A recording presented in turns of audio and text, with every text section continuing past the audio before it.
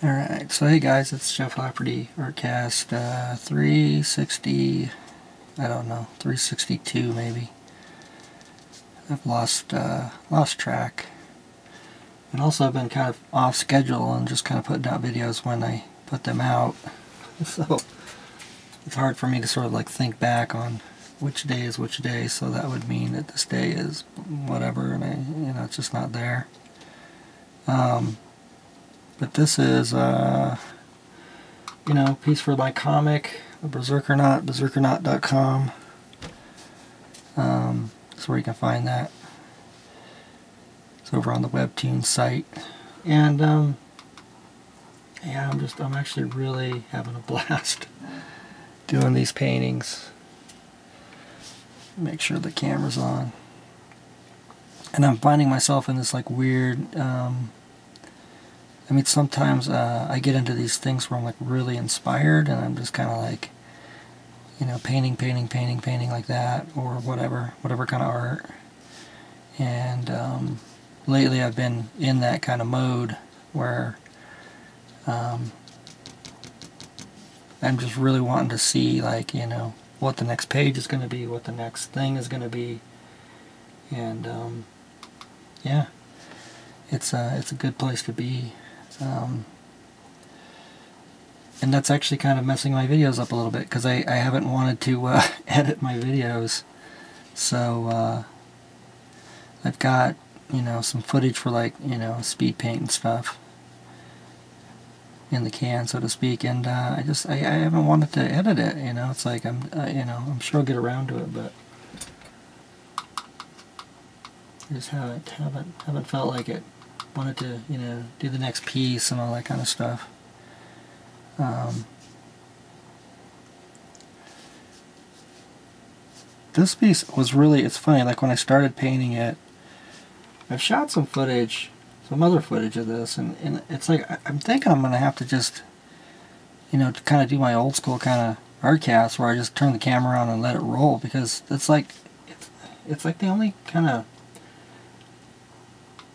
you know, it's like the only kind of video I really have time to put up. And even though they're like longer and, you know, sometimes they're like 30 minutes, it doesn't really matter as much because the, you know, I can, there's not a lot of like active editing, you know. I can just put put the foot, footage in in my editing program, Sony Vegas, and then just let let it roll and then if there is something I need to cut I can just reach over and cut it out you know and while I'm doing that I'm actually painting.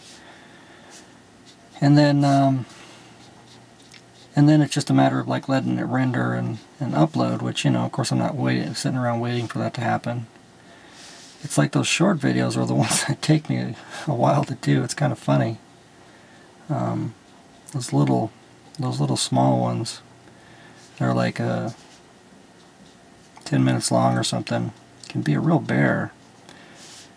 There's a lot of cuts and, you know, footage moved around and like the voiceover and all that stuff. And I don't know, I don't know what works better. It's, it's funny, like I can't really judge by what's been going on with my hits lately. Um, it seems like I've been getting like a lot of hits on long videos and short videos, so I'm not quite sure like you know what what's going on with with all that. Um, I was also uh, um, listening to uh, Mike's latest podcast, Mike Emmeritz's podcast, um, whatever he's calling that one. I don't even know what he's calling it actually. It's over on his channel. I'll try to remember the link. Uh, I'm kind of bad. And a lot of times, like Shirley will come along and tell me to to put the link in and I remember. So, but um, if I do, if I do remember to throw it in, uh, Mike Emmeritz, you know, 100 Days of Comics guy, has been doing these longer videos, you know, with uh, different people, different guests. Like Scott was on one a while ago, and seen Marshall in there, and a lot of the other 100 Days of Comics guys, and they're pretty good. I mean, they're they're good to listen to. You know, they're freaking long, long as heck, and uh, when I'm painting, it's like I don't care how long they are. It's just, you know, I'm just looking for something to listen to anyway. And I run out of like, uh, you know, TV shows and stuff to listen to while I'm painting. Um, what was I going to say about that? Uh, I don't know. I was in the middle of listening to this last one, and I, I could see the things like two hours, and I thought, well, I better record my own own Artcast, or I'm not gonna get it done tonight. Um, but they were talking a lot about like making money and all that kind of stuff. There was also another one that he did with Marshall. I heard the other day, and they kind of started talking about like me and like my business model and stuff, and it was kind of interesting to hear like somebody else's perspective on it, you know, because um, uh, they, I think they were kind of guessing, and they were sort of right and sort of off, you know, um, on what they were saying. They kind of, uh, I, noticed, I mean, like they kind of took this stand that I have like this sort of, you know, uh, big base of people that buy art, I guess, which that's kind of true, but it's like it's all built up from just selling art. You know, I think that's kind of the part I was kind of not understanding. At the end of it, um, Mike actually said, you know, come on the show sometime and like talk about it or something. He kind of made a remark like that, like directed towards me. And I, you know, I, I don't know, I don't know when I'll have time to do that, but I will talk a little bit about it right here. You know um, a lot of like my business is just it's just selling art you know it's not like there's any like secret parts to it um, and it's not really like I have like a massive client list or something it's there's a lot of people who've bought art from me because I've sold art for like a long time you know I've been selling it since actually I know how long I've been selling it because eBay for some reason sent me an email the other day that was kind of like congratulations, you've been on eBay since blah blah blah. And it actually listed the date of my first sale. And my first sale on eBay was actually 2006. Which I was like, wow, that's even earlier than I thought. And, you know, I haven't consistently been on there. But, um, that's, that's a long time. You know, that's like quite a while to be selling art. So, you know, if there's people out there watching like my auctions, it's like that's why because it's as I put stuff up, you know, consistently. But um, it's all just based on that, you know. It's not like I had any leg up on on anybody when I started. I just I just started list listing, and the reason I started listing was I was following uh, another artist I knew, and he was listing, and I was just kind of paying attention to what he was doing and and um, and and thought I'd try it myself. You know, I've told that story uh, in bigger detail lots of times on the show, so I won't like repeat the whole thing. But that was pretty much it. You know, it was like just this other guy I knew from a long time ago, and he just was talking about how how well things were going for him and stuff, and and I was just like, how well, you know, I mean, he did comics back kind of around the time I did, so it's like I, I didn't really understand it. I was like, well, how can things be going good? I mean, it's like I haven't seen a book from from you in like years. But the thing was, he had moved to eBay and was just selling original art, and that that's why what he was talking about. He's like, things are going good because I'm selling art, I'm making a living. And so after kind of watching him, probably watching him for too long, you know, and not trying it myself soon enough, um, I tried it. You know, I put some stuff up and it sold, and I put some more stuff up and that sold, and you know, just kept going. You know, I, I started doing sketch cards because at first I started with nudes, and that was a very niche market, and um, that still exists. I still am able to sell them, obviously, because I do nudes, and you guys have seen me do them. Um, but I started with that, and then I kind of got maybe a little bored with that, and found sketch cards. The sketch cards worked really well for me, and they kind of they took over a lot of like what I was doing. There was just uh, such a demand, and I immediately started to get commissions when I started doing sketch cards, which was not really the case with the nudes. That that you don't get as many commissions doing nudes. People just kind of want to buy what you put out. But you know, once you do like movie art and that kind of stuff, then um, then you get you know you get people wanting their thing. And so I started just selling those. And then, you know, it's like it's hard to make a living just cranking out piece after piece. So I went to uh, making prints. And to me, like the heyday of my prints was sketch cards. I don't think I've ever sold prints as well since then. And uh, most of the sales, because I was just thinking about this today too, like most of the sales came from eBay actually. Because I would I'd do a card and then I would, like back then I would do, I would actually draw, you know, I'd, I'd draw a pic, you know, I'd draw, stumbling all over myself, but I would draw a piece, like on paper, and then I would um, paint it on a different piece of paper. So I would like transfer the drawing, and I, back then I used to use like carbon paper, and I'd make a copy and I'd trace over uh, the the the picture with well not carbon paper actually it's called graphite paper which is basically like carbon paper but had graphite on the back so then you trace over the lines of the copy and then it would make you know kind of a tracing on the piece of paper of the sketch you just did. And then I would paint that. And and it was kind of you know on purpose. It was sort of on purpose but it then it also wasn't because it was my my my style back then to do a lot of you know sketches and preliminaries and stuff like that. And I wasn't super confident just going straight onto the like board, let's say. And so that's that was kind of like why I started at the beginning. But then you know it worked well because each each painting I did gave me two pieces to sell. You know, it gave me a drawing I could sell, and it, it gave me like the final painting.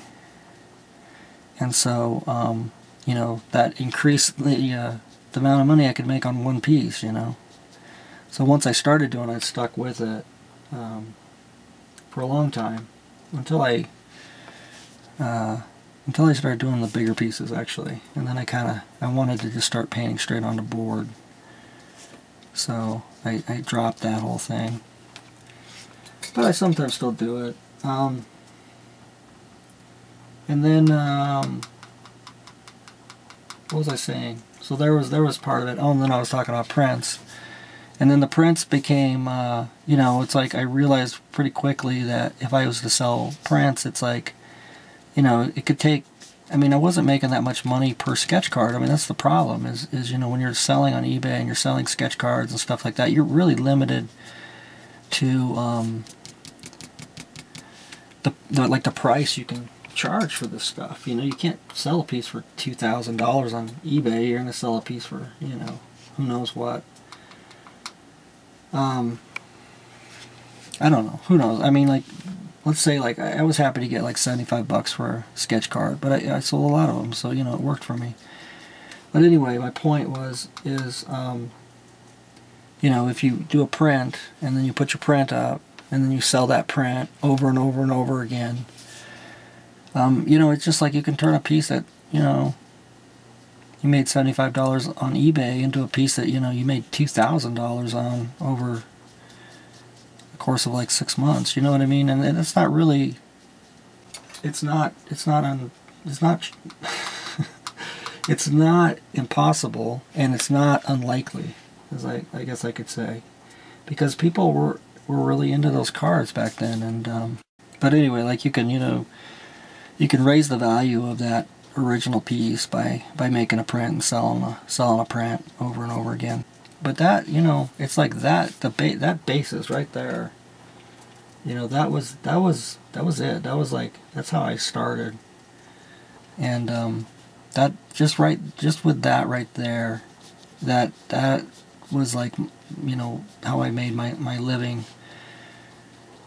Um, for quite a quite a while, you know when I was doing the sketch cards especially, you know. And that was all before I was on YouTube so much and you know, that was before I kind of went back to my job and and all that kind of thing. Going back to work as a painter though was was it was more based on my son being born um, than um, than things not working out. You know what I mean? Um, hang on. Try to keep this piece on the camera. But, uh, yeah, it was you know because things weren't really. I mean, things were tight. Things were always tight when you when you make your living that way, but um, they were okay. And then you know it's funny. The other thing I kind of forgot about this, but like the other thing was I was getting all into like that stop motion at that time, and I thought, you know, now I realize that this was this was not a good way to look at it. But I, at the time, I remember thinking, well, if I if I go to work, then I can you know just work my work my eight hours or whatever, and then come home, and I won't have to. I won't have to be like sort of struggling, and I can you know work on the stop motion and and not have to really worry as much about making a living and. and you know, actually, the reality of it was I went back to work, and then just all the stress of my job and you know, I made decent money, but I didn't make that great of money, and so it was always like, if I could sell another piece of art, you know, it's could make a little more money. Maybe I should do that instead of be out there, you know, in the shed filming something. So, it you know, the whole thing just just didn't work out, and then of course, you know, I got so fed up with it, I eventually quit and tried uh, tried making my living online again, which which worked out. But I don't know. I thought I'd just throw that out there because you know there was like there was I, it, I don't know, just from like listening to what those guys were saying. I I don't know if they got that that it was just like it's just a matter of putting your art up for sale. I think that's that's where a lot of artists just kind of. And I know not everybody wants the same business model, but I, I do think that that's that's kind of one of the places where it sort of people kind of go off the rails a little bit, I guess. I don't know how to describe it. I think I think you know it's like it's I don't know you know like like I mean when you hear people talk about like how to how to make it all work on the web or gain a following or um, just all that kind of stuff you know it's it's all got to it's all got to like kind of lead to something, you know. Um, it just you know it's it's like how do I describe it? It's like the guy that's spinning the sign on the side of the road. Um, like the guy that's spinning the you know sign for the water beds on the side of the road. And he's like, you know, out there spinning and spinning, and, he, and he's, he's spin, spun that sign so much that, you know, he's like pretty impressive and you, you drive by and you look at that guy um, and you go, damn, look at that. you know I mean? And, and, uh, and he's just like, you know, spinning it here and twirling around his neck and like doing all this crazy impressive stuff and it, that's almost like like us artists you know we're like the guy on the side of the road spinning that sign around our neck and doing all this impressive stuff that is like that people like look at you know um, and we do it sort of like in the name of like gaining an audience. But you know, like the, the thing is, is you know, it's like any any business or or whatever. You know, it's it's like you know, you need three things. You need sort of product, you need a store, and you need you know traffic. You know, you need customers, and it's it's like that's I think where a lot of times when I hear people just like so frustrated and they can't fucking get anywhere and they can't do anything, it's sort of like they're they're leaving out one of those steps. They're like they've sort of saw all these other people get online and spin the sign, you know what I mean, and get attention. Like say Jason Brubaker or something, or you know, who's that other guy? The Inktober guy, whatever his name is, and you know, like all these guys are like pros at it, you know, and they get a lot of attention and stuff, and uh, they're like great sign spinners. And so like they look at that and they go like, wow, you know, I want to I want to do that. And they get their sign, they start spinning, and they get get good, and they start getting their following and all that kind of stuff. But it's like they don't have like they don't they never set up the back end, you know. They never set up the three things, which is you know, product, store, customers, right? So you know, they get the customers, they don't got no product, and they don't got no store so it's like they don't make any money, and they go like, God, why does you know why does it work for this guy and it doesn't work for me? You know, and um, I don't know. It's just something I notice. It's just something I notice. I get it. You know, there's a lot of people I think just because I'm on YouTube and stuff, you know, you get a lot of emails.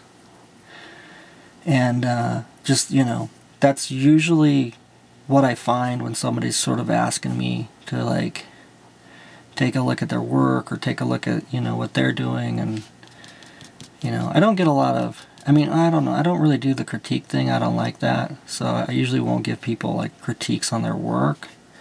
But I get other people who just, uh, and especially when I did the sketch card thing, you really get some kind of people that are were just sort of like wondering what I was doing there, you know.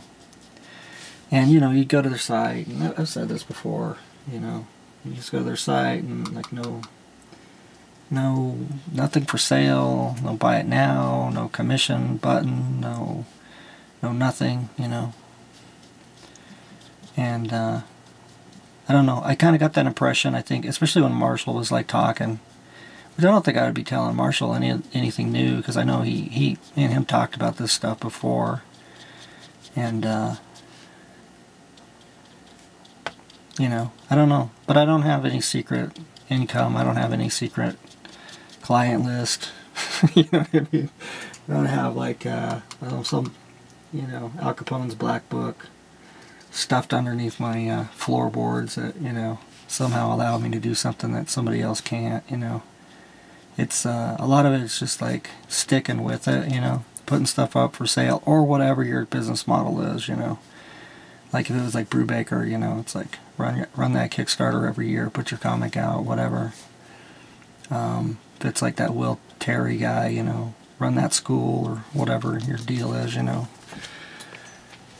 but you know they're consistent in it. They don't fucking like do it for a month and go like, well, you know, now I'm off to something else. You know, they're they're like day in day out, and uh, you know, and it works for them. So anyway, is that it? I think that's it. Uh, thanks for watching, guys, and um, I'm not sure. I'm not. I'm just kind of doing the videos as I do them. So they're probably going to come out more like one every other day rather than my usual schedule, or maybe I'll get back on schedule, I don't know. But um, I hope you enjoy the piece. Go, go check out the webcomic. Um, if you guys want some original art from the comic, it's going to be on eBay, so just kind of keep checking eBay or, you know, uh, watching my videos, you know, I'll, I'll post about them. And uh, hit up Patreon if you guys want to support the show. And that's it thanks for watching, guys. Good luck with your own art. You know, I'm. Uh, I mean, we're all in this together. You know what I mean? We really are. We are freaking all in this together, and we're all just trying to bust out of that. You know, I don't know what it would be like the YouTube ghetto, the art ghetto. I don't know, but we're we're like storming the gates. You know what I mean? And uh, nobody's watching what we're doing. You know, nobody is watching what we're doing. And that's like that is something that's on our side right now because it's like right now is like when we can invent the ways to sort of get over the wall and get into like you know into the whatever into the into this the city the garden of eden i don't know. Whatever wherever all the people are with all the money and the uh, and all that kind of stuff are. Um anyway uh that's it see you guys next time. Uh